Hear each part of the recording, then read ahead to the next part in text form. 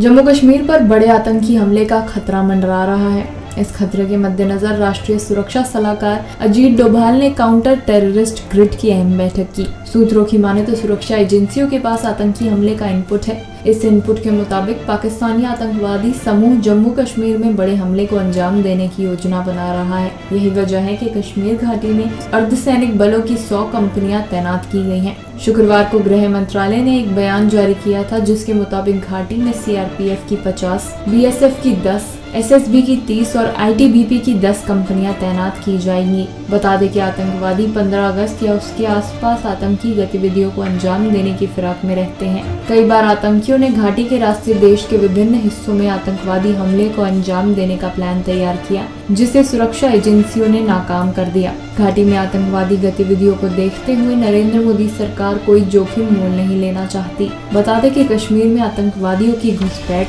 जारी है, जिसके खिलाफ सुरक्षा बल मुस्तैदी से डटे हुए हैं और कड़ी कार्रवाई कर रहे हैं। शनिवार को भी शोपिया में सुरक्षा बलों ने दो आतंकियों को ढेर कर दिया था। देश और विदेश से जुड़ी ऐसी ही तमाम खबरों के लिए बने रहें हमारे साथ। अगर आप ये वीडियो फेसबुक पर देख रहे हैं तो इस वीडियो को लाइक ज़रूर करें। और अगर आप ये वीडियो यूट्यूब पर देख रहे हैं तो हमारे channel Punjab Kesari dot com को सब्सक्राइब करना ना भूलें।